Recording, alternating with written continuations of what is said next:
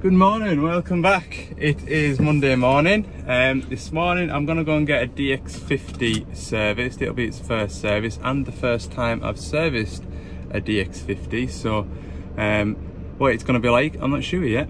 Um, so I'm gonna do that this morning. If you remember back to last week, uh, Friday I went to go and see a 160 in the woods there for an oil leak and the slew motor housing looked like it had cracked and it was leaking oil so I have a new slew motor coming um, which I ordered on Friday.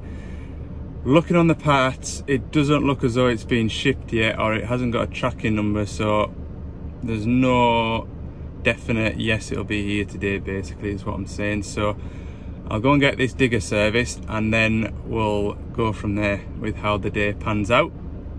Um, there are other jobs that I can go and get done if it doesn't turn up and we'll have it to do tomorrow so we'll see. Um, so yeah. I went um, it was my wife's idea actually. We took the kids down to Liverpool yesterday afternoon and we went to go and see Olly Blog's uh, Christmas tractor run. And so I did uh, film the whole thing when it went past. There's about eight and a half minutes of that um, which I'll either put on the end of this video if there's sort of slim pickings today um, or I'll save it up for in between Christmas and the New Year maybe.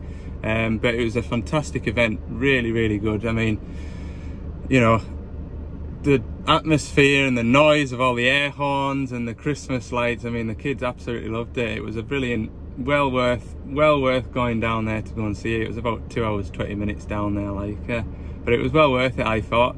Um, and the kids loved it too so um, well done to Olly for organising such a, a, great event like because it really really was it really really was worth seeing.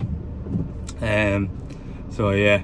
Right I'm gonna go and service this digger and I'll meet you when we get there. All right so DX55 this one. So what's the difference between the 50 and the 55 I'm gonna say it's this. Extra counterweight on the back. Makes it that little bit heavier. Uh, so I'm just having a look over myself. We've got fuel filter, fuel filter, engine oil filter, engine filler. Where's the engine filler at? There, of course. That's handy enough. That's good.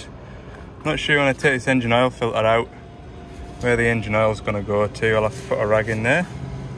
Um, and then I've got a return filter for it that's going to go in there so that's handy yeah, everything looks pretty good to be getting at to be fair. So what size some bung have we got. We've got a belly plate and then we've got a screw on cap. I'll get my pipe out we'll drain the engine oil out. Good. Doesn't look too bad. We'll get on. Engine oil's draining. Uh, it looks like it's going to be a slow drainer it might be that pipe that I use because it's the same pipe that I use on the 140 160s and it seems slow. Uh, anyway it's coming out. I suppose I could have used that bung there. Maybe in future I'll use that bung. Get it all drained out quickly. We'll let that do that and I'll get on with these filters. Do this engine oil filter first. Yeah, engine oil filter went well. I put a rag down in the bottom of that, well, basically where the start motor is, and it trickled a bit out. Didn't make too much of a mess, so that's good. Uh, I'm going to do this filter next, so I'll put a tray underneath here and I'll drain all the fuel out of here, because if I take that off, it'll just splatter everywhere, so I'll do that. Well, there we go. Uh, fuel filter's changed in there, that one's changed. The old one had a little bit of discoloration around here. Um, but not to be worried about, I don't think. So, yeah, once again, Doosan have made a very service-friendly machine, I think. Everything was, everything's handy to get I find, with these machines. Just in places where you're not having to reach your arm up in and get engine oil running down your arm and stuff. So, no, it's good. Right, I'll get this return filter done. Engine oil is still draining. With it being a trickle at the start, you don't know if it's a trickle at the end. Or maybe we'll just take that bung out once I've finished the return filter and just see how much is left in it. Might be a good idea. Okay, hydraulic return filter done. Um, this is maybe more for my benefit, but anybody wants to change the auxiliary hydraulics from one way to two way, change changeover valves down here. So you'll turn it quarter turn and that'll change it from one way to two way. Um, so if you're swapping from like a, a grab and putting a hammer on it or flail or something like that that needs a one-way feed that's where you turn it over at I know with the six and the eight tonners they were hidden underneath the floor mat um, what you'd do is you'd stand in the doorway peel the floor mat back there'd be a little gap in the floor like that just inside the doorway and you'd put a spanner down there and sort of do two flats and that would turn it over and the amount of phone calls I would have the folk that didn't know um, want to put a hammer on it and it wasn't working and vice versa. Um, and the six and the eight tonners they were well hidden like, but yeah, for anybody running one of these, just down there. So I've only engine out to go back into this. Now there was some waste oil in this drum. It's about half full now, but uh, the starsman Dan has put in the service schedule so I can see that it needs 9.2 litres of engine oil. So uh, I'll probably just measure out 9 point, well, I'll measure out 9 litres and dip it and just top it up accordingly. Um, it's got that little narrow hole there which me uh, funnel will just sit on top of and flop it. Well, the funnel will probably sit down like that, so I'll just pour it in with my jug for this one. Right, so I stopped at eight litres. I measured out eight litres in that two litre jug. I mean, they were they were jugs of two good two litres, if you know what I mean. Um, and it was just over the top mark. Obviously, we've got the engine oil filter to fill. Um, I've just turned the ignition on the now, and it's bleeding the fuel through, which it seems to be doing without problems. So um, yeah, eight litres seems to be enough at the moment. What I'll do, obviously, I'll start it, let it run for a minute or two and stop it and we'll just double check uh, with enough oil in it. I'll just wait till this has bled up a bit. It's sounding like it's nearly there.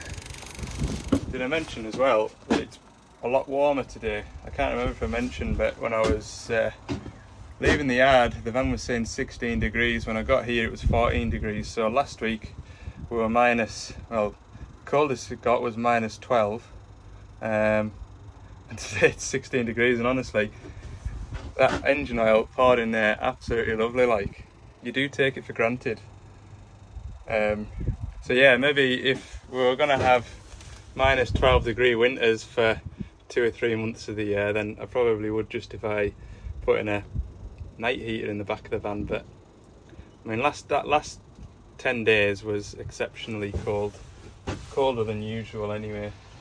Normally you see freezing, but only just freezing, so I can't really justify a diesel heater in the van. But yeah, it's a warm breeze that. Don't know how well you'll see that, but eight litres is absolutely spot on. I know before there I was saying about the engine oil just dribbling out, but it did actually come to a stop, so eight litres is sufficient. Um, and that'll just take it only just over the fill mark. And when you start it obviously it'll fill that engine oil filter so absolutely spot on that. All other levels are present and correct. Um, coolant is spot on.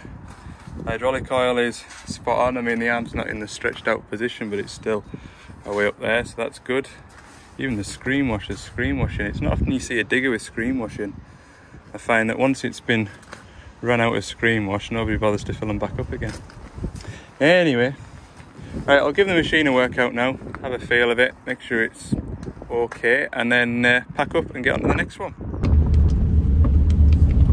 So it's two o'clock, it's a long time since we last spoke. Um, I've just been at a machine that had some vandalism.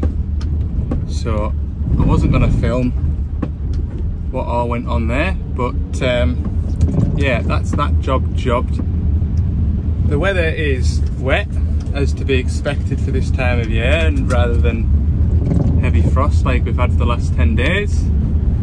I'm just on my way to probably what's going to be the last job of the day which is putting a set of batteries on a digger um, and then head for home I think because I haven't had a phone call to say that the slew motor is in and to be honest with you if I had a phone call in the next five minutes to say that it was in I'd be an hour back through to Carlisle. And then by the time I've loaded up and headed up to the job it'll be dark so hopefully we'll get on with that tomorrow. But I'm in a way I'm pleased because I'm getting all these sort of loose end jobs tied up. And uh, I'm knocking jobs off my list of jobs to do which is good. Because that list last week was looking longer and longer. Anyway I'll see you at the next one and uh, I mean it won't be too interesting I suppose putting a set of batteries on but we'll go and have a look at it right I've got this new digger here and um, what am I going to tell you? Batteries are completely stone dead flat. Stone dead flat. So I've got a couple of new ones on the van and I'm going to replace them, which is actually easier said than done on these zero tail swings. It's a bit of jiggery pokery trying to get them out of here. Um, but I think, yeah, I'll have to, I'll take that plate off there. Just two 13s behind there. Let that lie back. Take that off, that off, that off hopefully get this out in one piece so what am I to need 10 13 12 and 17 by the looks yeah we'll have a go at this right these are the new ones all ones are out just need to slide these ones in without crushing any wiring or any plugs see how that goes Whew. they're heavy heavy enough anyway Near that rain battering off the roof. It is wild out there now. There we go, all done. We'll jump in the cab now and see if it'll want to start. Before it was just putting up all sorts of error codes. Like, I mean, loads and loads of error codes. So, yeah, we'll, uh, we'll go and give it a go. Well, it started, no bother. Voltages are looking good.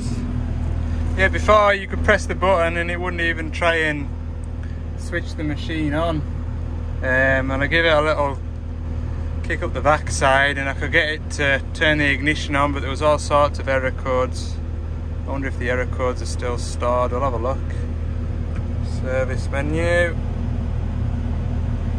Come along. There we go. Uh, yeah failure information. Failure log. Yeah there's loads look. Voltage below normal, voltage below normal, voltage below normal, voltage below normal. 17 codes, voltage below normal. right, I'll chuck my stuff in the van. Um, it now? Is that the right time? 10 past 4? Can't be. No. Quarter past 3. Change that time we're in here. Yeah, um, what I'll do is I'll nip back through to Carlisle because hopefully the pressure washer isn't all frozen up anymore and I can give the van a right good clean um, even though I'm heading up into the woods tomorrow hopefully um, could do with getting all that salt off it so I think that's what I'll do for the rest of the afternoon. Got a good day done. I've got everything done that I want to do. So we'll leave it at that. Um, yeah I'll probably uh, see you tomorrow on the next video. So thanks very much for watching. If you've enjoyed it give it a like. And uh, any comments any questions just go ahead and ask us down in the comments section and we'll get back to you where I can. I've not been very good lately um, getting back to comments. I've just been pretty busy with work as you've seen. So I'll do my best but uh, yeah thanks again and we'll see you on the next one